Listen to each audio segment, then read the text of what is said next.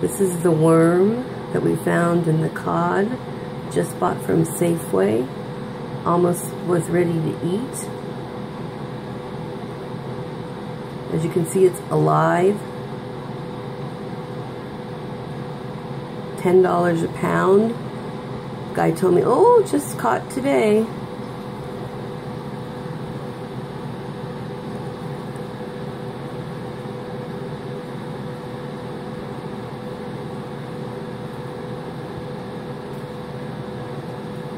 Anyone for dinner? Fish and chips, my house.